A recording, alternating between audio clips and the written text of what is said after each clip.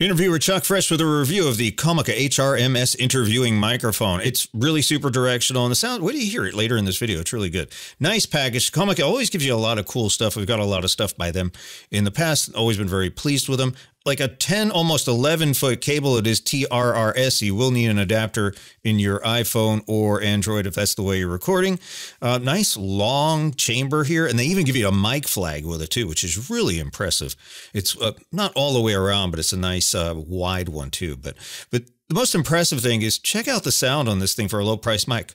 Look, if you want to be a legit reporter, you have to have a legit reporter's microphone. This is the Comica, Comica. I'm not still not sure how you say that. The HRMS.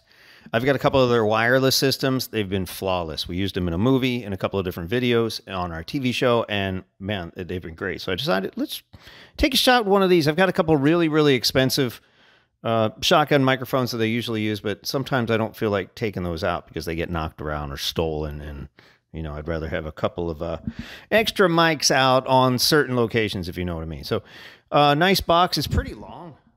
Pretty long, and this is really cool. It comes with this little plastic doodad that clips on. It actually came with it, so you put your own little design on there, and you look totally legit. Because you need to look legit when you're out there in the field interviewing people. So it's a cardioid pattern. So let's hear what that sounds like. I'm going to pull that over here. Can you hear me over here? Can you hear me over here? This is a terrible room. This is actually my family room, and it's echo chamber and there is a washer and dryer going on upstairs about 40 feet away. I don't know if you can hear that.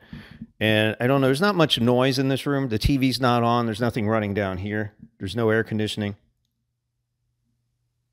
All I really hear is the dryer and washer upstairs. So I don't know how that's coming through. We're going to listen to this myself.